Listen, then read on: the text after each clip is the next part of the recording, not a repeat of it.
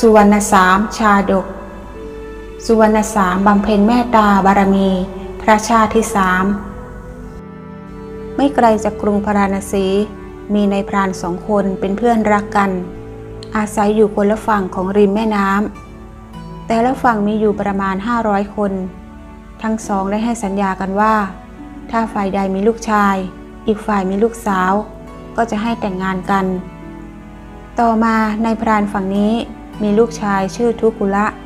ส่วนในพรานฝั่งโน้น มีลูกสาวชื่อปาริกา ทุกุละเมื่อมีอายุได้ 16 ปี บิดามารดาจะไปขอลูกสาวฝั่งโน้นมาเป็นคู่ แต่เขาปฏิเสธ ฝ่ายปาริกาก็ปฏิเสธบิดามารดาของนางเช่นกัน ทุกุละได้ส่งข่าวให้ปาริกา ว่าตัวเขาไม่ปรารถนาจะแต่งงาน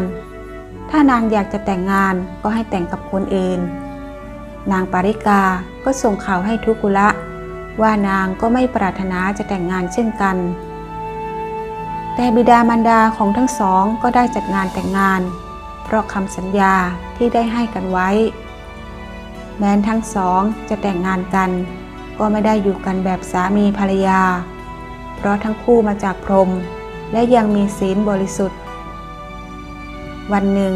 เขาได้ขออนุญาตผู้เป็นบิดามารดาออกบวช เมื่อได้รับอนุญาตแล้ว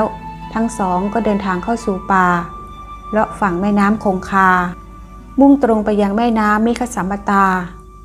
ขณะนั้นเท้าสกัดเทวราชได้ทราบถึงความต้องการของทั้งสอง จึงให้พระวิสุกรรมเทพบุตร ไปเนรมิตอาสม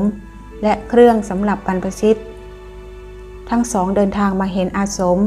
และเครื่องสำหรับบรรพชิต ก็ทราบว่าเท้าสกัดเทวราชเป็นผู้ประทานให้ จึงเข้าไปเปลี่ยนเสื้อผ้า และเจริญสมถธรรม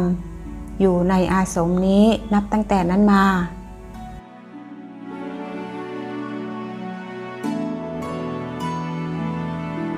วันหนึ่งเท้าสกัดเทวราชได้เห็นอันตรายที่จะมาสู่สองดาบท ทั้งสองจะตาบอดมองไม่เห็น จึงได้ลงมาเตือนและให้ทั้งสองมีบุตร เพื่อที่จะได้ปฏิบัติดูแลเมื่อทั้งสองมองไม่เห็น ทุกุลาดาบทไม่ต้องการมีบุตร เพราะตนเองได้บวชแล้วเท้าสกะเทวราชได้กล่าวว่า ไม่ต้องทำแบบนั้น แค่เอามือลูบท้องของปาริกา เวลานางมีระดู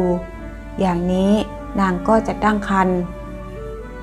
ทุกุละดาบทได้บอกนางปาริกาให้รู้ตัว แล้วเอามือลูบท้องนาง ในเวลาที่นางมีระดู ต่อมานางปาริกาก็ตั้งครรภ์และคลอดบุตรชาย ผิวพรรณดังทองคำจึงตั้งชื่อว่าสุวรรณสามเวลาที่สองดาบทเข้าไปหาผลไม้ในป่า กินนรีทั้งหลายที่อาศัยอยู่ในป่า ก็อุ้มสุวรรณสามไปอาบน้ำและดูแล อถึงเวลาก็จะนำมาส่งที่อาสมทำแบบนี้จนกระทั่งสุวรรณสามมีอายุ 16 ปี เมื่อบิดามารดาไปหาผลไม้ในป่า เขาก็จะสังเกตทางที่บิดามารดาไป เพราะถ้าเกิดอันตรายใด ๆ ก็จะได้เดินตามทางนั้น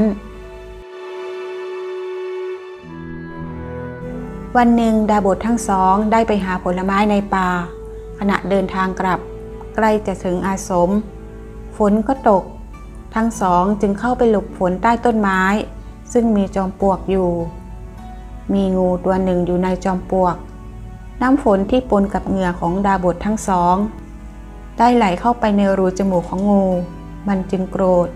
พ่นพิษออกมาถูกตาทั้งสองข้างของดาบททำให้ตาทั้งสองข้างของดาบทมองไม่เห็น กล่าวกันว่า นั่นเป็นเพราะกรรมเก่าของดาบททั้งสอง ในอดีตชาติทั้งสองเป็นสามีภรรยากัน มีอาชีพเป็นแพทย์รักษาดวงตา เขารักษาดวงตาให้กับเศรษฐีคนหนึ่ง เมื่อหายดีแล้ว เศรษฐีไม่จ่ายค่ารักษา เขาจึงโกรธและได้เล่าเรื่องให้กับภรรยาฟัง ภรรยาโกรธจึงบอกให้สามีปรุงยาขนาดหนึ่ง เมื่อหยอดตาแล้วทำให้ตาบอด สามีจึงทำตามภรรยา เศรษฐีเมื่อใช้ยาหยอดตาแล้ว ตาของเศรษฐีก็กลับมาบอดเหมือนเดิม และนี่คือกรรมที่ส่งผลให้ในชาตินี้ ดาบททั้งสองตาบอด กล่าวถึงสุวรรณสามเมื่อถึงเวลาเย็น ก็ยังไม่เห็นบิดามารดากลับมา ก็เป็นห่วง จึงเดินไปตามทางที่ตนเองเคยสังเกต แล้วเรียกหา เมื่อเจอบิดามารดาแล้ว ทราบว่าท่านทั้งสองตาบอด เขาจึงร้องไห้และหัวเราะ บิดามารดาถามว่าทำไมลูกถึงหัวเราะและร้องไห้ เขาตอบว่า ที่ร้องไห้ เพราะว่าเสียใจที่ตาของบิดามารดาบอด ส่วนที่หัวเราะ เพราะจะได้ปฏิบัติดูแลท่านทั้งสอง จากนั้นจึงพาบิดามารดากลับอาสม เขาได้ผูกเชือกทำเป็นราวสำหรับให้บิดามารดาจับ เวลาเดินจงกรม หรือไปถ่ายอุจจาระปัสสาวะ มีพระราชาพระนามว่าบิลยคราชครองราชอยู่กรุงพาราณสี วันหนึ่งได้ออกป่าราชสัตว์ เมื่อเสด็จมาถึงแม่น้ำมิคสามตา ท่าน้ำที่สุวรรณสามเคยมาตักน้ำก็เห็นรอยเท้าสัตว์มากมาย จึงได้ซุ่มอยู่ที่ต้นไม้ แล้วหยิบลูกศรออาบยาพิษ เตรียมที่จะยิง ฝ่ายสุวรรณสามถือหม้อน้ำจะไปตักน้ำสัตว์ป่าก็มาเป็นเพื่อน พระราชาที่ซุ่มอยู่เมื่อเห็นสุวรรณสามก็สงสัยว่าจะเป็นเทวดาหรือนาค ถ้าจะเข้าไปถาม ก็เกรงว่าจะหนีไปซะก่อน ถ้าเป็นนาคก็กลัวว่าจะดำดินไป จึงยิงลูกศรออาบยาพิษเพื่อไม่ให้หนี แล้วค่อยสอบถามทีหลัง ลูกศรถูกข้างขวา ทะลุข้างซ้าย สุวรรณสามแม้จะถูกยิงก็ยังมีสติ หันศีรษะไปทางทิศที่อยู่ของบิดามารดา กล่าวว่า ปกติขนฆ่าเสือ เพราะต้องการหนังฆ่าช้าง เพราะต้องการงา แต่เนื้อหนังของเขาไม่มีประโยชน์อะไรเลย คนที่ยิงเขาต้องการอะไร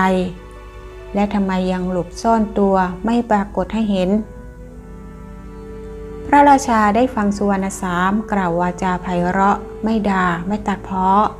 กับเรียกด้วยวาจาอ่อนหวาน พระองค์จึงปรากฏตัว แล้วกล่าวคำเท็จว่า ที่ยิงสุวรรณสาม เพราะโกรธที่ทำให้สัตว์ป่าตกใจหนีฝ่ายสุวรรณสามทราบว่า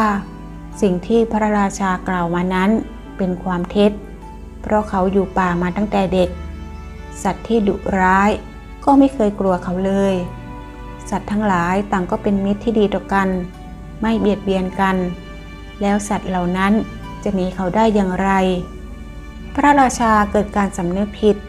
ว่ายิงผู้ที่ไม่มีความผิดแล้วยังกล่าวโมสา จึงได้ตอบความจริงว่า เพราะโกรธที่สัตว์ทั้งหลายวิ่งหนีไป แล้วได้เห็นสุวรรณสาม แต่ไม่แน่ใจว่าเป็นเทวดาหรือนาค แล้วถามต่อว่าสุวรรณสามอยู่กับใครในป่านี้ สุวรรณสามกั้นความเจ็บปวด แล้วเล่าว่าเขาอยู่กับบิดามารดาที่ตาบอดทั้งสองข้าง ถ้าเขาตายบิดามารดาจะอยู่อย่างไร ใครจะตักน้ำให้ดื่ม หาอาหารให้กิน นี่คือความทุกข์ของเขา พระราชาได้ฟังก็คิดว่าสุวรรณสามมีความกตัญญูต่อบิดามารดาอย่างดีเยี่ยม ได้รับทุกข์แค่ไหน ก็ยังคร่ำครวญถึงบิดามารดา มีเทพธิดาชื่อพระสุนทรีอดีตชาติเคยเป็นมารดาของสุวรรณสาม คิดจะช่วยสุวรรณสาม จึงได้กล่าวกับพระราชาถึงผลกรรมที่ทำร้ายสุวรรณสาม ว่าพระองค์จะต้องตกนรก แต่หากจะให้พ้นจากนรกไปสวรรค์ พระองค์ต้องดูแลบิดามารดาของสุวรรณสาม พระราชาได้ฟังก็เกิดความกลัวและสำนึกผิด จึงรับปากว่าจะเลี้ยงดูบิดามารดาของสุวรรณสาม และได้เสด็จไปที่อาสม เล่าความจริงให้สองดาบทผู้เป็นบิดามารดาของสุวรรณสามว่า ขณะนี้สุวรรณสามได้ตายแล้ว เพราะพระองค์เป็นผู้กระทำสองดาบทได้ฟังความจริงก็ไม่ได้โกรธ แต่ขอร้องให้พระราชา พาตนมาที่ร่างของสุวรรณสามเมื่อมาถึงก็ร่ำให้คร่ำครวญและตั้งจิตอธิษฐานว่า สุวรรณสามมีความกตัญญูต่อบิดามารดา และมีความเมตตาต่อสัตว์ในป่า ไม่เคยเบียดเบียน ไม่เคยฆ่าสัตว์ ขอความดีนี้และบุญกุศลที่สุวรรณสามได้ทำไว้ ให้พิษในร่างกายของสุวรรณสามจงหายไป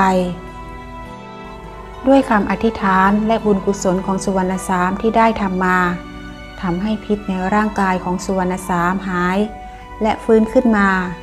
และยังมีผลให้ตาทั้งสองข้างของบิดามารดา ได้กลับมามองเห็นอีกครั้ง พระราชาได้เห็นความอัศจรรย์ที่เกิดขึ้น สุวรรณสามได้แสดงธรรมให้พระราชา ให้ตั้งมั่นอยู่ในศีลปกครองเมืองด้วยทศพิษราชธรรม พระราชารับปากสุวรรณสาม จากนั้นก็เสด็จกลับสู่เมือง ส่วนสุวรรณสามและบิดามารดา ก็บำเพ็ญสมณธรรม จนบรรลุสมาบัติ จนสิ้นอายุไข ข้อคิดจากเรื่องสุวรรณสามคือความกตัญญูที่มีต่อบิดามารดา และความเมตตาต่อสัตว์ทั้งหลายทำให้เป็นที่รักของสัตว์และหมูเทวดา เมื่อตกทุกข์ได้ยาก ผลบุญที่ได้ทำไว้ ก็จะหนุนนำให้เรารอดพ้นจากทุกข์นั้นได้